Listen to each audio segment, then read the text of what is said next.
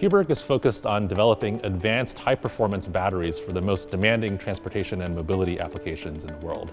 Areas like electric aviation, maritime, heavy-duty trucking, and so forth.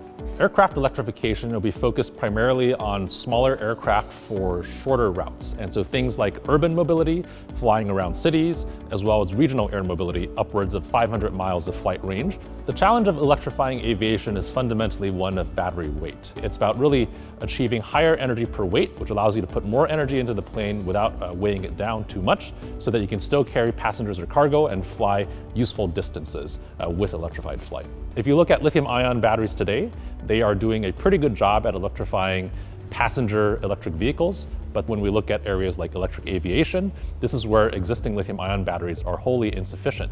Cuberg's lithium metal batteries demonstrate about 50 to 70% higher specific energy. And so what that means is energy per weight of battery.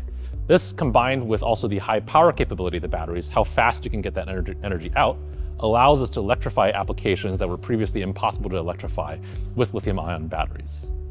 The core of Cuberg's technology that makes this performance possible is our lithium metal anode, which replaces the graphite anode and is much, much lighter weight and more energy dense, and then an advanced non-flammable liquid electrolyte. This electrolyte is the core secret sauce that stabilizes the lithium metal and gives it safety and cyclability and reliability.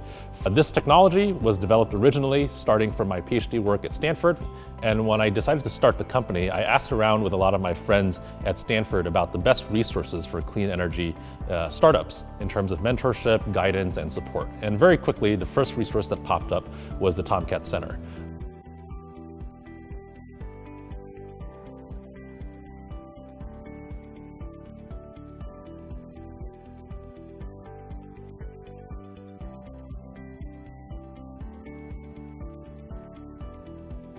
Cuberg is a fully owned subsidiary of Northvolt. Northvolt acquired us in 2021. It is the leading European battery manufacturer in the world right now.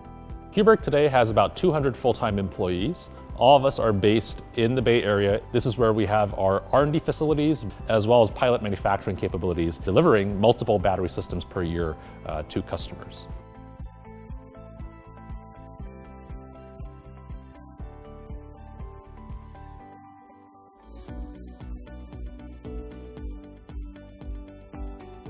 Cuberg's batteries will go into first flight by end of next year and with flight certified for aircraft and entry into service around 2027.